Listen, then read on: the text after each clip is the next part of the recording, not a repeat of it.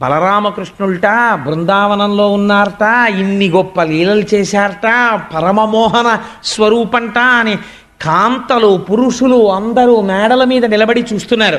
ఎంతో ఆనందంగా బలరామకృష్ణులు నడుస్తూ ఆ మధురానగరం యొక్క రాజవీధిలో వెడుతున్నారు.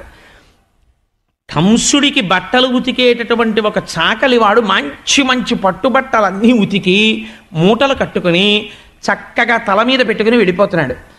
కృష్ణుడి పిలిచి అన్నాడు ఏమాయ్ మేము నంద నందమహారాజు గారి బిడ్డలం మాకు కూడా ఒక్క పట్టు పంచి ఇద్దు కట్టుకుంటాం అన్నాడు. అయ్యా ఇవి కంసుడి బట్టలండి మీకు నేను ఎలా ఇవ్వగలను? నేను చాకల్ని ఉతికేవాడిని అంతే కదా నాకు అధికారం ఉంటుందా? అంటే వేరొక రకంగా ఉండదు.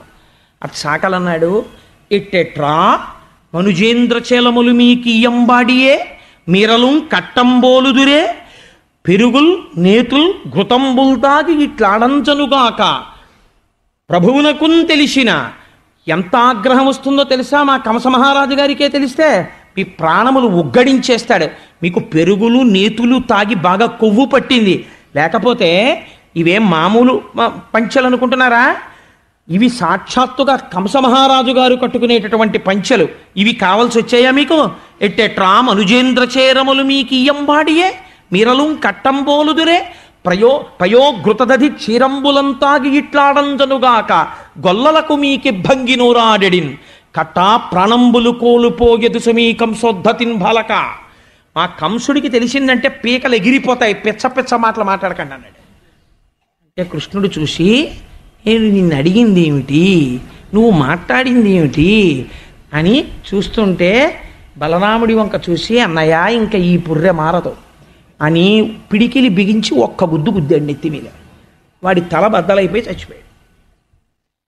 ఎందుకు చంపాడు చాకల్ని? అంటే ఇక్కడ ఒక ప్రశ్న ఉంది. ఈ పుర్రె ఎప్పటిదో తెలుసా అండి? త్రేతాయుగం పుర్రిది. అప్పుడు సీతాదేవి మీద నిందలేశాడు.